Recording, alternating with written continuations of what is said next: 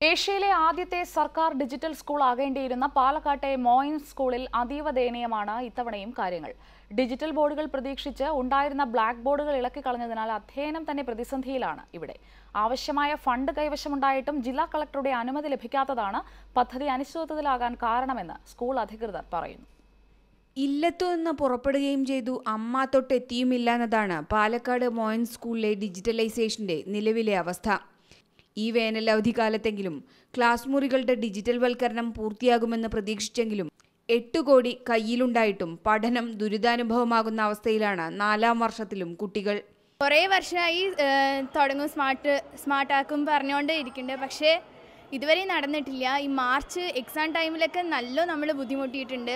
ഇവിടെ വന്നത് മുതൽ കേൾക്കുന്നവരാണ്. ഇന്ത്യയിലെ ആദ്യത്തെ ഡിജിറ്റലൈസ്ഡ് സ്കൂളാണ് ഞങ്ങളുടെ മോയിൻസ് എന്ന് പറയുന്നത് അതിൽ ഒരുപാടധികം അഭിമാനമുണ്ട് പക്ഷേ എങ്കിൽ കൂടിയും ഇതിന്റെ പണികൾ പൂർത്തിയാക്കാത്തതിൽ ഒരുപാടധികം ഒരുപാടധികം ഖേദമുള്ള കാര്യമാണ് ആക്രിക്കടകളുടെ പരിസരം പോലെയാണ് സ്കൂൾ വരാന്തയടക്കം പൊളിച്ചുമാറ്റിയ കോൺക്രീറ്റിന്റെയും ഇരുമ്പിന്റെയും അവശിഷ്ടങ്ങളിൽ തട്ടി അപകടമുണ്ടാകുന്ന പതിവിനും ഇത്തവണ മാറ്റമില്ല. രണ്ടു മാസം കൊണ്ട് ഡിജിറ്റൽ ബോർഡുകൾ സ്ഥാപിക്കാമെന്ന് കരുതി ഉണ്ടായിരുന്ന ബ്ലാക്ക് ബോർഡുകൾ നീക്കിയതുകൊണ്ടുള്ള പ്രതിസന്ധിയും ചെറുതല്ല.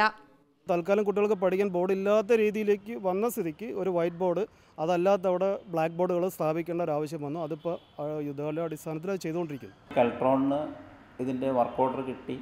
അവർ ഇൻസ്റ്റലേഷൻ ആവശ്യമുള്ള വർക്ക് വസ്തുക്കളൊക്കെ പർച്ചേസ് ചെയ്ത് പ്രൊക്യൂർ ചെയ്താൽ തന്നെ വീണ്ടും ത്രീ മന്ത്സെങ്കിലും അതിന്റെ ഇൻസ്റ്റലേഷന് വേണ്ടി എടുക്കും. രണ്ടായിരത്തി പതിനാലിലാണ് മോയിൻ സ്കൂളിൽ ഡിജിറ്റൽ വൽക്കരണം തുടങ്ങിയത്. നിർമ്മാണ പ്രവർത്തനങ്ങളുടെ ശബ്ദശല്യവും പൊടിശല്യവും സഹിച്ചു പഠിച്ചിട്ടും പഠിപ്പിച്ചിട്ടും വിദ്യാലയം കാഴ്ചവെച്ചത് മികച്ച റിസൾട്ട്. എയ്ഡഡ് സ്കൂളുകളിലടക്കം സർക്കാർ സഹായത്തോടെ അത്യാധുനിക സൗകര്യങ്ങളൊരുക്കുമ്പോഴാണ് പണമുണ്ടായിട്ടും ചുവപ്പുനാടയിൽ കുരുങ്ങി മോയൻസിന്റെ ഡിജിറ്റൽ വൽക്കരണം നിലയ്ക്കുന്നത്.